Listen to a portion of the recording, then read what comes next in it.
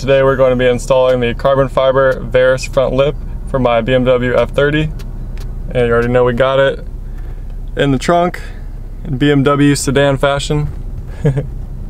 so yeah, we're really looking forward to getting this lip installed. I already did the ceramic coating on it, uh, Optimum Gloss Coat. It's a two-year ceramic grade coating that I have on the rest of my car and exterior parts.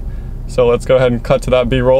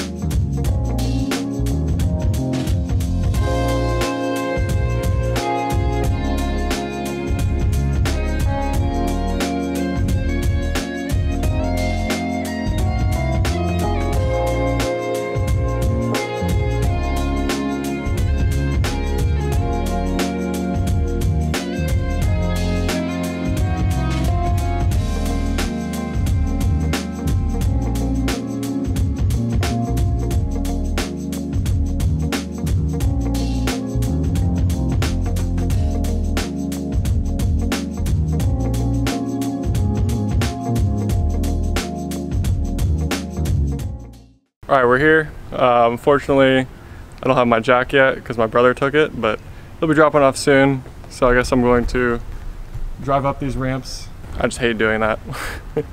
I prefer just to jack the car up and then slide the ramps under it because even when I put on the front lip, it's not gonna clear it uh, coming back down. So going to attempt to drive up it for now and then I'll be able to use the jack when my brother gets here.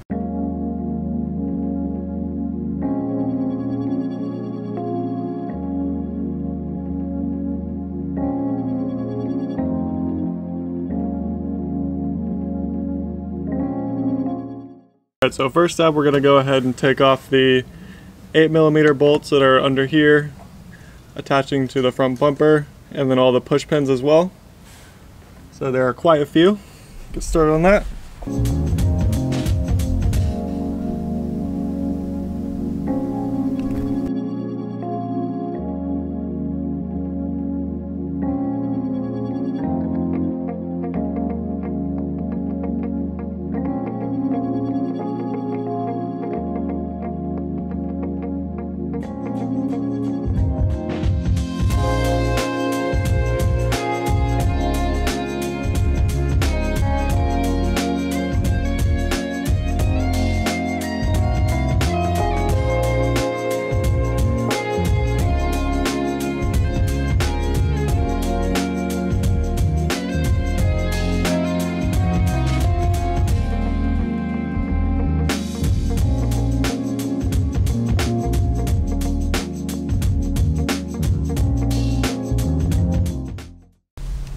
Alright, so far so good fitment wise.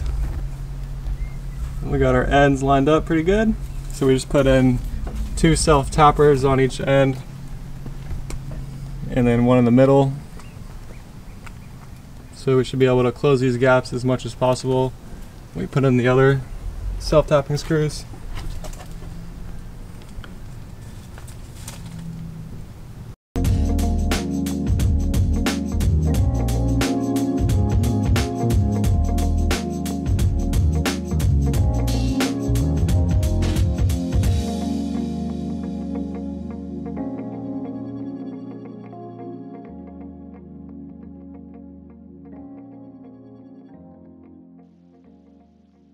So here we're using a Dremel to go ahead and drill out three holes in the middle of the bumper.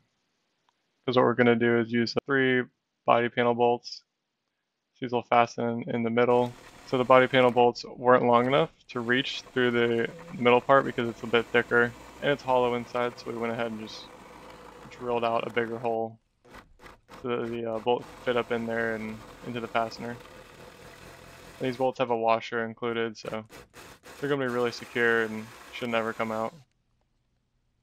And I didn't use 3M tape at all because um, I plan on maybe changing this lip down the line, so didn't want to have to deal with that.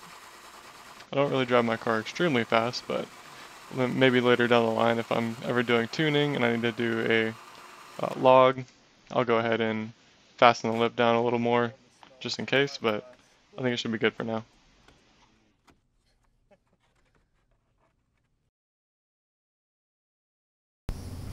Alright, so I got self-tapping screws here on each corner. Managed a couple throughout. And then we also put in some body panel bolts. Uh, three of them just in the middle. And I hand tighten these down. So they're really snug. And then we just put a bit more self-tapping screws in here. All along. So yeah, it should be good. I don't think it'll go anywhere. We got fitment pretty good. I think it's honestly as good as it'll get for carbon fiber. A little bit of gappage right there, but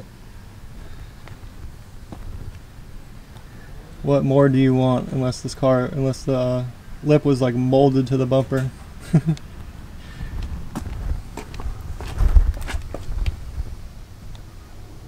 so yeah, that will do.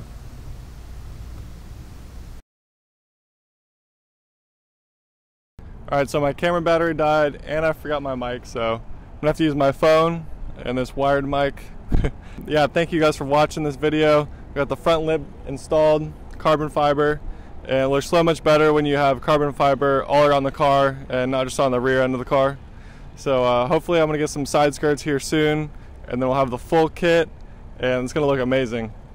So um, yeah, I'm gonna get some pictures here soon and thank you guys for watching. I'll link all the hardware that I use in the description below for your convenience.